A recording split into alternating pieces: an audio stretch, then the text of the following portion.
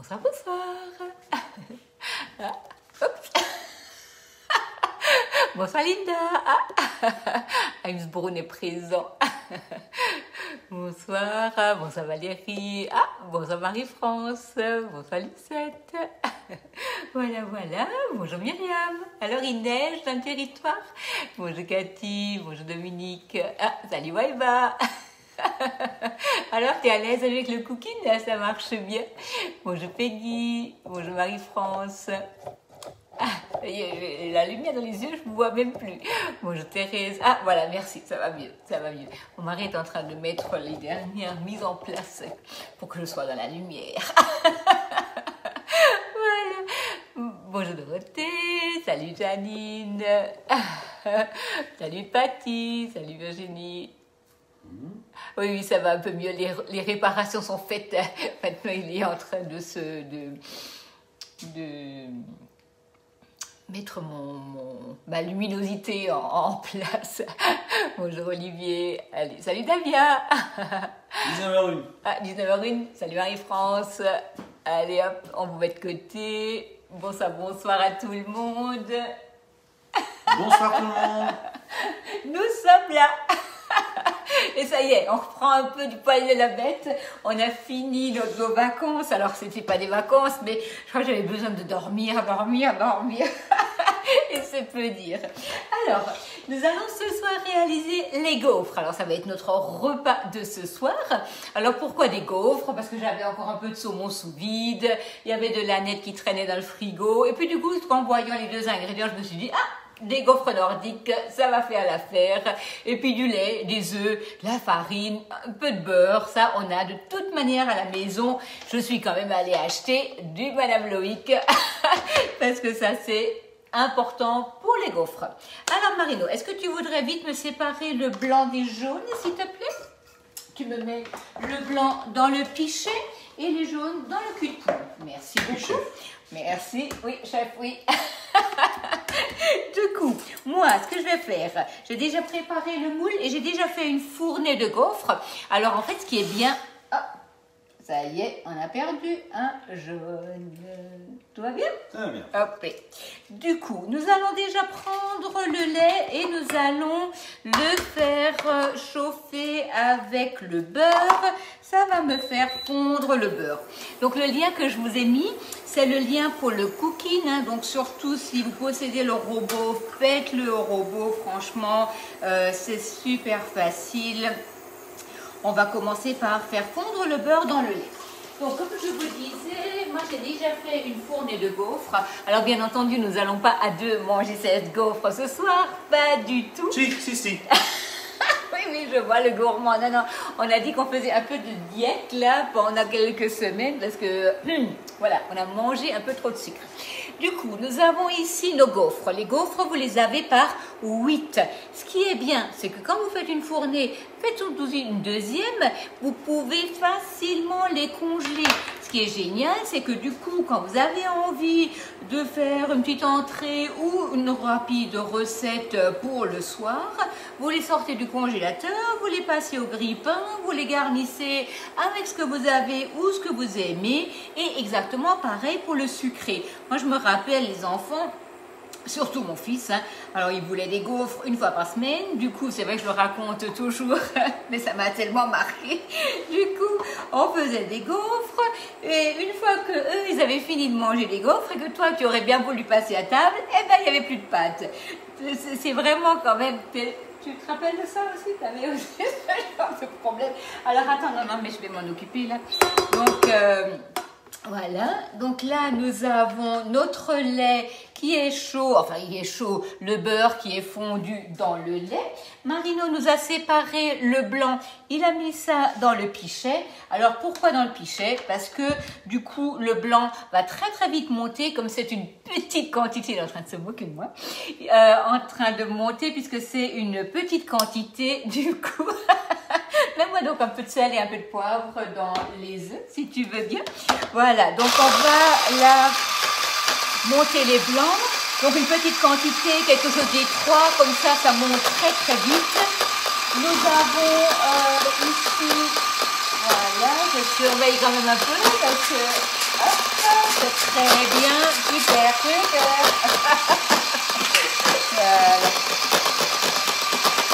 Allez hop. Voilà, vous voyez, le blanc, il est en train de monter. Voilà, et c'est fait. Vous voyez, donc ça, c'est vraiment quelque chose qui est très rapide. De toute manière, la pâte à gaufres, c'est quelque chose où vous n'allez pas passer un temps fou. hein. donc, euh, ça va très, très vite. Question? Oui, question? Non, il n'y en a pas. tu regardes pas. En même temps, moi j'ai pas mal de personnes qui me disent Mais Marino, il répond plus aux questions ou quoi hein? Non, il répond pas, il, je fait pas répondre aux questions qu'il n'y a pas. Ouais, c'est ça, oui. C'est ça.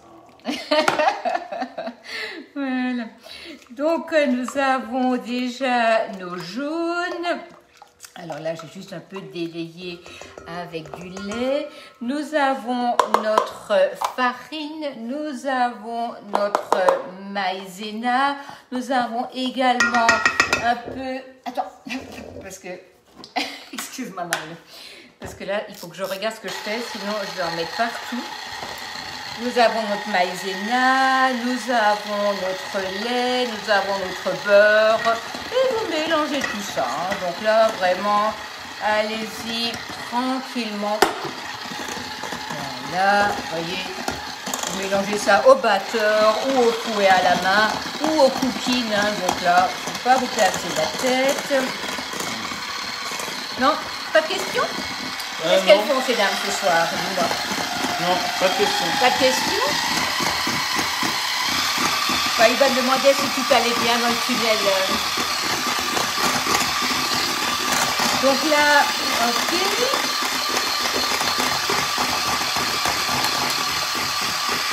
On va voir si on a bien tout mélangé. Hop. On reprend un peu tout ça. La spatule est super pratique aussi bien pour aller dans la poêle, dans la casserole. Donc vous trouverez tout ce matériel dans le catalogue. Alors je sais pas, vous avez certainement déjà vu le lien passer. Je distribue au fur et à mesure là où je passe déjà un peu les catalogues. Donc euh, si vous m'en avez demandé un, surtout ne vous inquiétez pas. Je suis en train de distribuer tout ça. Donc euh, normalement euh, la semaine prochaine, tout devrait arriver dans vos boîtes aux lettres. Voilà. Donc, euh, et sinon, voilà, on a le lien numérique. hein, et n'hésitez pas à, si jamais je n'ai pas encore répondu, peut-être, parce que parfois dans les commentaires, je perds parfois un peu le fil des commentaires. Donc, euh, surtout, n'hésitez pas. Voilà. Donc là, on a la spatule aux températures. Pas de questions Voilà, on va mettre ça dessous la pâte. On aura une belle pâte très légère.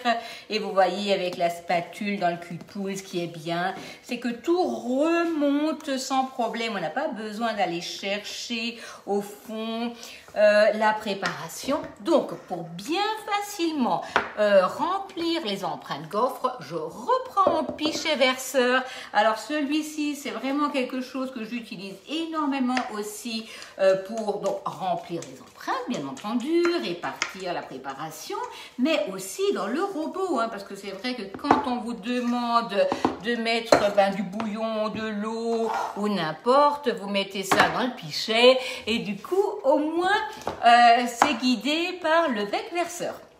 Marino. euh, Oui. Marino. Marino, Oui, tu es où? Bah je suis là. J'avais déjà une cuillère. Et oui. Donc là, nous allons remplir nos empreintes à l'aide de la cuillère. On va retenir pour passer à la suivante. Et vous mettez votre four à 210 degrés, un quart d'heure et quelques minutes avant la fin. C'est bon? Il est chaud? Il est chaud. Quelques minutes avant la fin de la cuisson, vous retournez vos gaufres pour avoir les deux côtés bien croustillants. Voilà.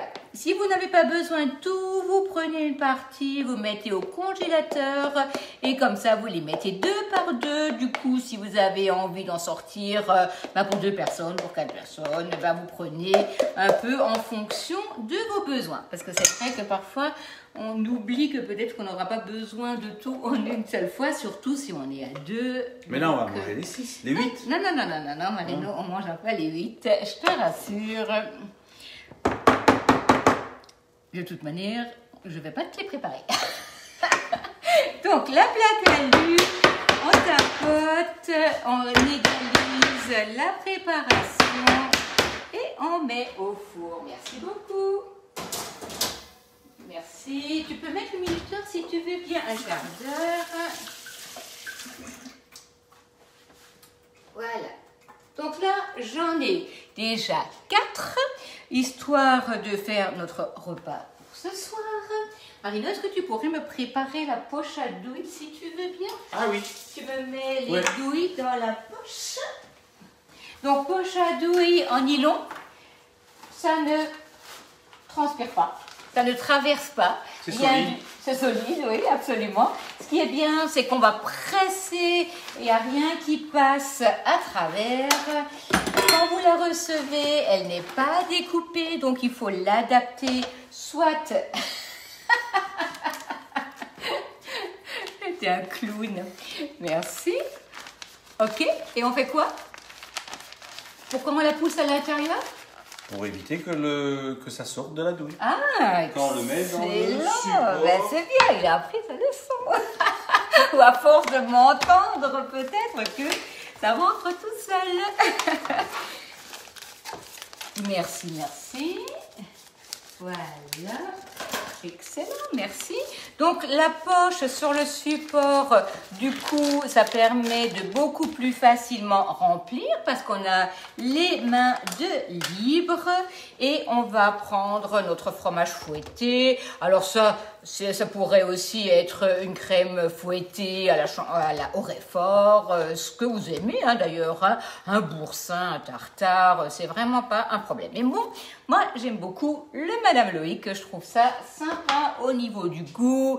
Alors je vais pas faire de pub pour un fromage, mais quand même, euh, c'est quelque chose de vraiment sympathique au niveau du goût, même pour les petits déjeuners, on aime bien. C'est bien sympathique. Voilà. Donc, Nous avons ici notre poche, nous avons notre fromage, le petit que j'utilise dans le cul de poule pour aller chercher ma pâte ou pour nettoyer mon plan de travail. C'est vraiment quelque chose de pratique. On fait avancer le fromage comme ça, la poche, elle est propre. On coince entre les deux doigts et on retourne, on serre jusqu'à ce qu'on ait la préparation à l'avant et là on tient bien dans la main pour garnir. La planche rectangulaire, celle-là, vous la connaissez. Elle est juste parfaite pour poser le moule bûche par-dessus. D'ailleurs, on va avoir des décors, vous savez, en chocolat qu'on avait utilisé pour Noël avec des petits cœurs pour la Saint-Valentin. Je te ferai des cœurs, mon chéri. Il rigole. Voilà. Donc là, nous avons ici notre poche, notre douille et on va remplir. Et vous pouvez même faire un trompe-l'œil. On pourrait penser que c'est de la chantilly. Donc si c'était de la chantilly, on mettrait une banane, du chocolat fondu ou un caramel beurre demi-sel. Ça, c'est juste excellent. Hein Le Nutella. La Nutella, absolument. La pâte à tartiner. La pâte à tartiner, absolument. Voilà. Alors écoute, j'ai dans le bicet là du, du- de la salade frisée et j'ai aussi du saumon et de l'aneth si tu veux bien me l'apporter. Voilà, merci beaucoup. Hop. Et c'est vrai que quand vous avez déjà des petites choses qui vous restent, si j'avais eu du jambon, ça aurait été du jambon. Hein.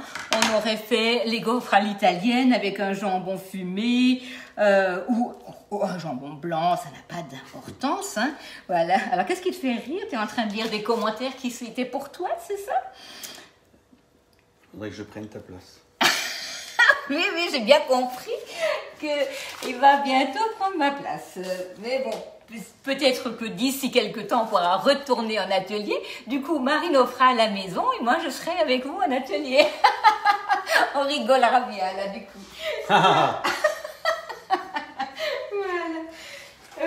Donc, quand vous avez fini avec la poche à douille, petite astuce, ne la mettez pas tout de suite dans l'eau. Dévissez d'abord, parce que sinon, ça vous ferme le, le- comment on peut appeler ça?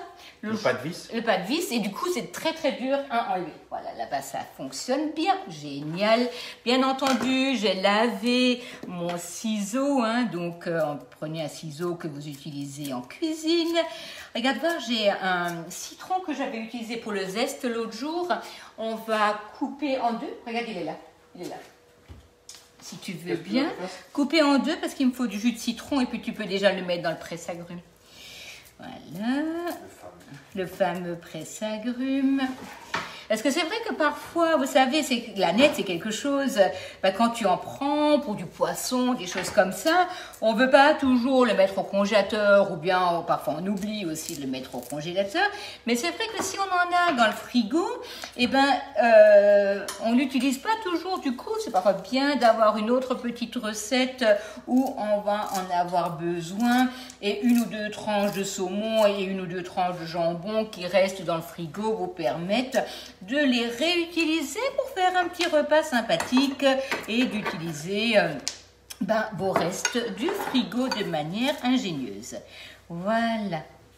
Et vous savez, sur le club, hein, je vais encore quand même le redire, quand vous avez un ingrédient, vous pouvez taper l'ingrédient et puis chercher un peu les recettes qui euh, sont faites avec. Donc du coup, ça, ça peut aussi vous apporter des idées. Vous tapez saumon ou bien vous tapez, euh, euh, je sais pas moi, euh, Madame Loïc, enfin n'importe.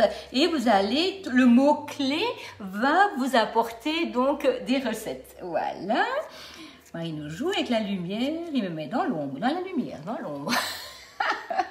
voilà. Donc euh, là, on rajoute le saumon. On avait encore aussi de la salade Soubi Save, un mélange de salade. Du coup, ça va être une belle assiette de salade et de gaufres par personne. Et ça va être notre repas du soir. Voilà. Avec un muscadet. Avec un muscadet? Ah oui, ok. Bon, bah avec un muscadet, du coup. voilà. Donc, on va reprendre un peu notre aneth et tu me mettras juste un tout petit filet de jus de citron par-dessus, si tu veux bien. Voilà, mais vraiment petit, hein, parce que j'ai pas envie. Attends, attends, attends, viens là, viens là, viens là. Comme ça, tu. Vas-y. Juste un filet passe par-dessus. Voilà. Presse, voilà, super, exact, voilà. Voyez, donc le presse-agrumes, ça vous permet aussi de doser la quantité de, de citron que vous souhaitez. Et c'est le citron que j'avais un peu utilisé pour faire le zeste dimanche pour les tartelettes au citron. Et du coup, bah, ça me permet euh, surtout de réutiliser. Alors j'ai l'impression que ça se voit pas correctement, non? Ça, Je sais pas, regarde voir. Si, si. Si? Ok. Attends, je vais le prendre en main. Je vais prendre la gaufre en main. Et puis comme ça, je suis éblouie par la lumière. ouais. Bon, c'est pas grave. Je vous referai une photo tout à l'heure. Et puis comme ça, vous allez la voir. De- Oui. Ouais, alors ça là, c'est en train de cuire, donc il n'y a pas encore assez de couleur pour les retourner. Mais donc, comme je vous expliquais, vous mettez donc votre préparation donc dans le gaufre, à peu près un quart d'heure à 210. Quelques minutes avant la fin, vous retournez les gaufres et vous les repassez 2-3 minutes au four, histoire qu'ils prennent donc de la couleur sur les deux côtés, enfin du croustillant sur les deux côtés. Et dans le moule gaufre, vous pouvez aussi bien faire la gaufre de pommes de terre, hein, qui est géniale en accompagnement, la gaufre de légumes, des gaufres au chocolat, ça pose aucun souci. Et bien sûr, la gaufre toute simple au sucre que vous allez saupoudrer de crème fouettée, de sucre, quelques pommes rôties ou n'importe. Voilà, si vous cherchez d'autres recettes pour le moule gaufre, pareil sur le club, vous allez dans les produits, produits, vous sélectionnez gaufre et puis là vous avez toutes les recettes qui arrivent. Vous avez deux manières de sélectionner avec le high cooking ou sans le high cooking selon ce que vous avez comme produit à la maison. Voilà, donc nous on va vous souhaiter un bon appétit. Donc pour les commandes, donc c'est pareil. hein. si vous souhaitez donc euh, ce moule ou un accessoire ou des nouveautés du catalogue, vous avez deux solutions. Soit vous passez directement par moi et je me ferai un plaisir de vous le livrer ou de vous le, bien sûr de vous le commander et de vous le livrer, ou alors directement par la boutique et donc du coup c'est le transporteur qui viendra vous l'apporter à la maison. En tout cas, merci aussi pour vos likes donc sur ma page, pour les partages de ma page. C'est vraiment euh, un grand plaisir euh, de voir euh, tous ces mouvements donc sur ma page. En tout cas, bonne soirée et nous on vous souhaite un bon appétit. Bonne soirée, bon appétit. et on se retrouve jeudi soir. À bientôt. À jeudi. Au revoir.